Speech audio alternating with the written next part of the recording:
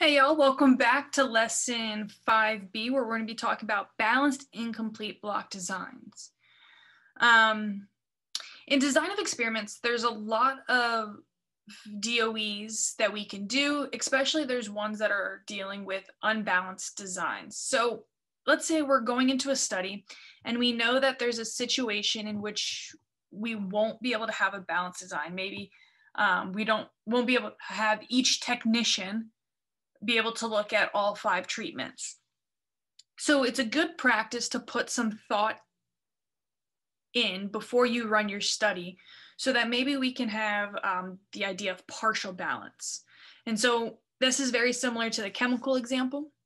Now, there are cases such as the cow example where you're running your experiment, a cow gets sick, you can't apply it or you can't use that cow now and so those those are the things we can account for. But if we go into an experiment and we know certain things, such as we won't be able to use every treatment for each maybe person or technician, I'm still using the chemical example, we can be smart about how we design it so that we can get good properties out of our experiment. So this lecture is all about balanced incomplete block designs. Um, a balanced incomplete block design assigns T treatments to B blocks such that each block contains K treatments that are assigned to K experimental units, where K is going to be less than T. This is what's making it incomplete. So K is now thought of the block size, which is less than the number of treatments.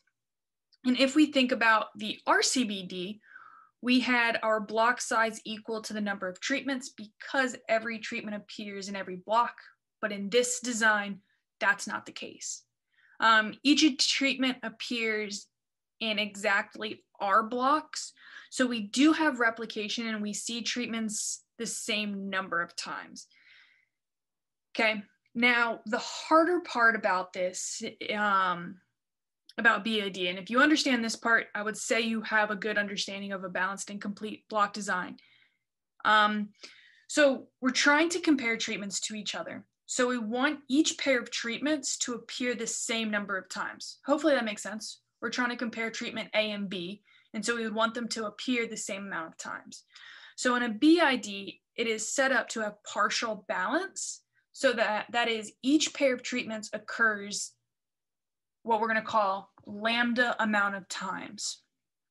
Okay, um, the properties here are our total number of observations is n is equal to r times t or b times k.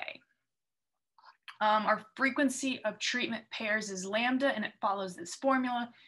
You don't need to memorize this formula for any means. Um, our lambda though, let's say I gave you r, k, and t and I asked you to figure out what the frequency of tree pair, tree, treatment pairs was, if lambda comes back as something that's not an integer, then this isn't going to be a BIBD. Okay.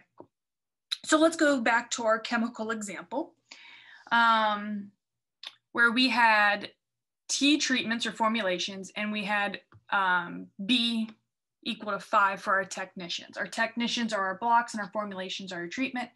And we're curious, is this a balanced incomplete block design? And I'm gonna foreshadow and tell you it is. Um, so our block size K is four. That's because we have four treatments per one technician. Our frequency of treatment is R. That is each formulation is tested four times. So let's just look at formulation A.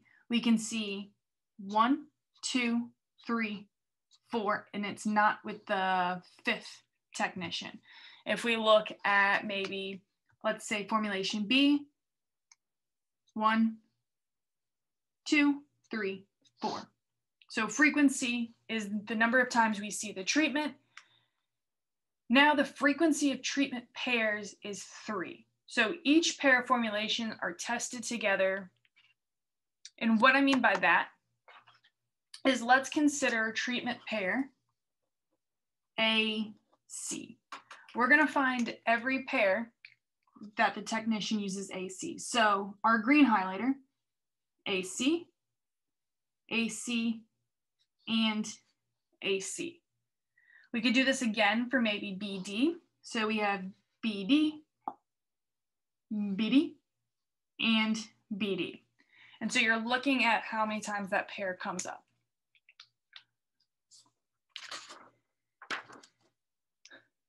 The ANOVA table for a balanced and complete block design, it looks exactly like what we talked about in our last lessons notes. And the reason why is because a BIBD is a special type of balanced or unbalanced RCBD. So again, this ANOVA table should look very familiar to what you just saw in lesson 6A. All right, now let's go to a different example to hopefully continue to extend our understanding of a balanced incomplete block design. So in this case, we have pillow comfort. A company needs to compare comfort scores of nine types of pillow. They select 12 customers to evaluate the pillows. Customers have the patience to test at most three pillows. That's reasonable. So our treatments are our pillows, where T is nine. Our block is our customer, so B is 12. And the question that we want to kind of ask ourselves is, is this a balanced incomplete block design? And again, it is. But let's try to figure out what our K, our L, and our lambda are. So our block size is three, because if we look at each block, which is the customer, each customer tests it three times. It's easy to kind of go across and count that. So K is three. Our frequency of treatment is four. So if we go up to our pillows, which is our treatment, and we kind of look down the columns, we can notice that each treatment is seen four times. So R is four. Now, the next case is to figure out what our lambda is, our frequency of treatment pairs. And in this case, again, this picture is a little bit easier to see and figure out our R's, K's, and lambdas. So what we're gonna do is let's consider treatment pair AB. So we see one pair of AB, and then we can just kind of scroll down and we see that it's no more. So you want to check a couple more of these, but our lambda is going to be equal to one. So if we go to maybe DE, we'll highlight this in green, and we scroll up and down, we can see that D and E are only matched or paired once. Another thing uh, that we talked about in lesson 6A was our means. So our treatment means versus our least square treatment means. This output right here um, is just comparing our means with our least square means. And then this is just plotting it to show you that there is a difference. And again, JMP will default to using the outputting the least square means and using the type three sums of squares. Our users, I will show you how to make sure you're doing that. Okay, let's talk about some other unbalanced designs. Awesome. Um, there are other ways that you can make other unbalanced designs. We can have completely randomized with varying sample size that looks like this. We can have varying block size.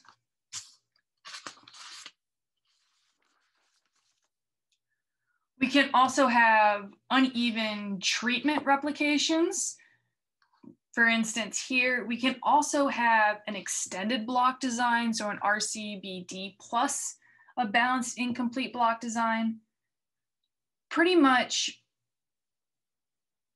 um, once we start to learn about the foundational models, RCBD, GRC, um, a generalized randomized complete block design, Latin squares, and a basic idea of unbalanced design, hopefully you guys will start by the end of this course being like, I can combine these types. Again, this course is to give you guys a basic outline and foundation in design of experiments. There's no way I'll be able to cover every completely, I basically won't be able to cover every single design in the world because that's not possible. But This class will hopefully give you the foundation in which you can then extend to make more maybe complex designs such as this. My final remarks about unbalanced designs. Um, unbalanced designs are awfully implemented because of certain limitations. Um, in the pillow example, we were on the limits of customers being patient enough to test out three. One of my other favorite balanced and complete design examples is ice cream. We want to test out 10 ice creams, but people's taste buds die, not die, but wear out after eating three. So there are always limitations we want to consider. But if we can have partial balance, that is also really good for um, our design. If you can, you always want to try to have a balanced design, but again, limitations and in real experiments, that's no, not always possible. With that, we're going to move into lesson 6C, where we're going to go through the cow example with the missing data and the pillow comfort example using both R and JMP.